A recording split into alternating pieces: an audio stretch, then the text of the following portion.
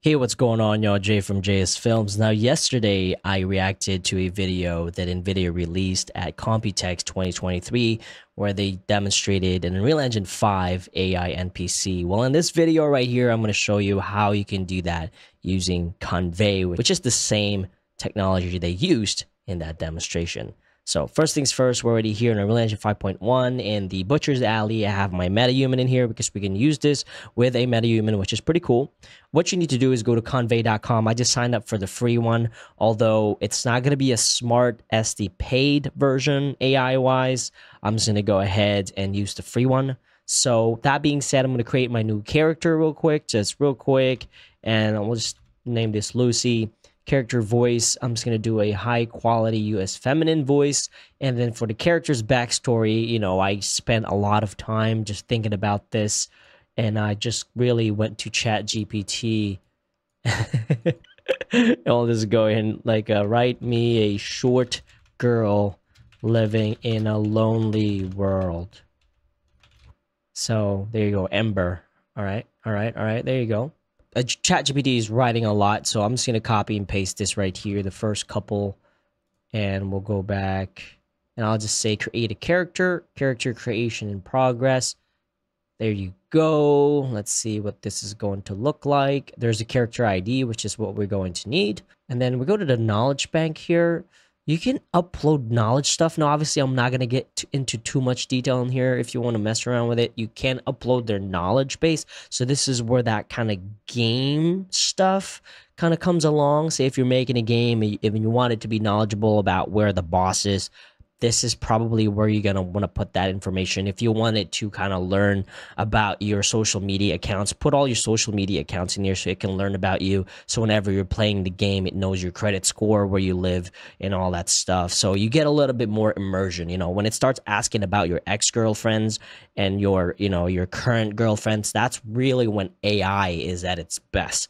All right. So here we go. Configure the avatar. I'm not going to do any of this. I already, already got what I need. I just need a character ID. I gave give you a little bit of character's backstory, so that's good to go. All right, next thing we'll do is we'll go to the Epic Marketplace. This is pretty much my homepage here, and we're going to type in Convai or Con AI double click this or just single click it. We're going to install it to the engine. As of right now it's only 5.0 and 5.1, but I'm pretty sure 5.2 is coming. It's very difficult for plugin developers to keep up with Unreal Engine because it changes pretty much every month or every other month. So we have to wait for 5.2, install that to your engine. I already have it installed. Okay, and then we'll go to my project here, just double check it's in there, go to plugins, and we're gonna type in conv. So you can see I already have it enabled. And once that's done, go ahead and restart your project. Additionally, I'm gonna go to edit project settings and we're going to go to plugins right here and we're going to look for Convai. This is where you're going to be pasting your API key. Now, where do you get your API key? It's really easy. Just go back to your convai.com, click on this top right corner. This is really smart that they hide it. Copy this, go to the project settings, and then paste it right here, which obviously you're going to see it, but I'm going to black it out. So I'll close this out right here. That's good to go. I'm just going to save it all. And next, what we need to do is actually go to the project folder of this project. So I'll right click, show in Explorer, and then I'm going to go right here, go to config, and we have to actually edit our default.engine.ini. So, so I'll maximize that, double click this, and in the beginning, we need to write in two things, two lines, copy and paste it here. Voice enabled true. What this is going to do is allow me to talk through my microphone right here. So I'll save this here, and then I'm going to close my project and then open it back up. If you haven't done so, go ahead and check out my Unreal Engine 5 courses on ArtStation, Udemy, or Gumroad. What I'll do next is go to the bottom left corner. I'm going to be adding a feature and content pack. And for now, let's just do a first person. Okay, and I'll cancel this. I'll double click that BP first person character now. And I'm going to go to class settings right here and just change this to conv AI base player. That's going to do its thing. I'm going to compile and then save.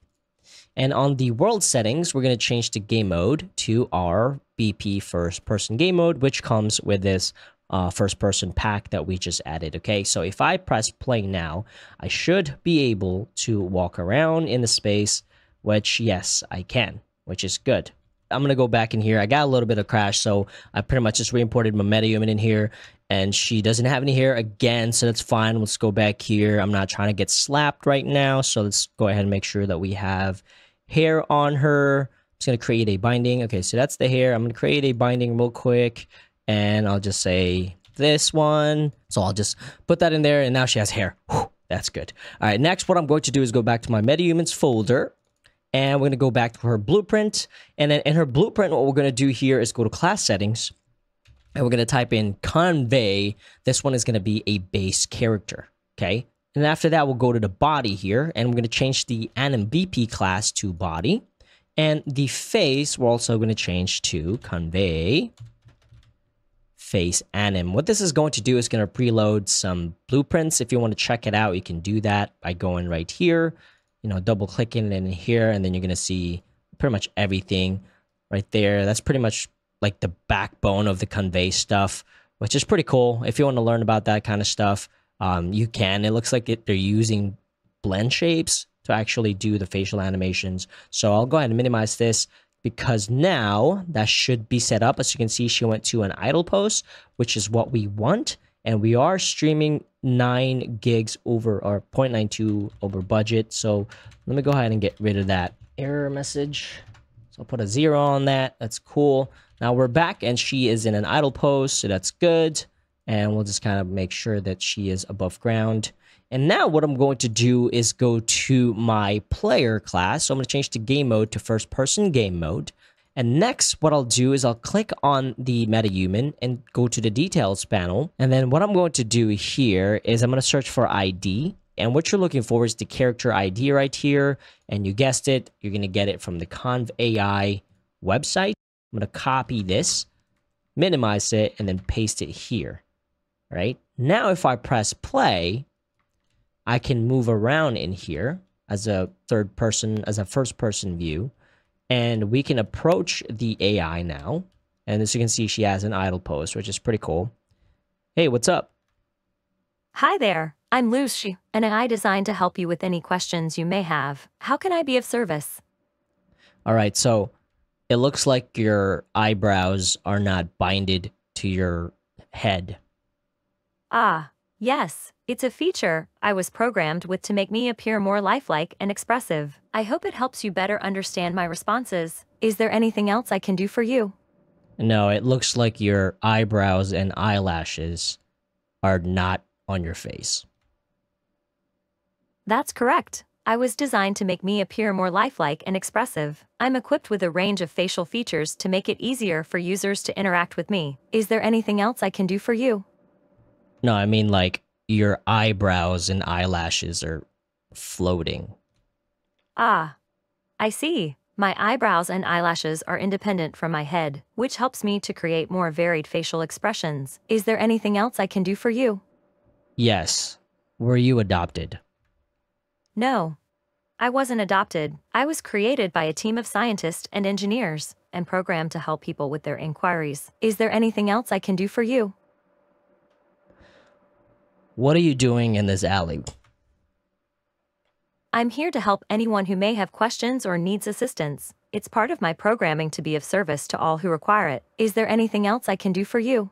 Well, that's pretty much it for this video. That is how you use Convai with an Unreal Engine 5 MetaHuman. And I know what you're thinking. The facial animation is quite bad for now, but I'm pretty sure they're going to improve that later on down the road. If you learned something new today, please do like and subscribe to the channel. I am trying to get 100k subs this year. Again, if you haven't seen it, if you don't know about it, I am actually taking pre-orders for my JSFILMZ mocap helmet that will hold your iPhone for live link facial animation or the MetaHuman animator that's coming out. Check out the link in the description if you want to be on a pre-order list. Go email me at jsfilmzmocap at gmail.com. Peace out.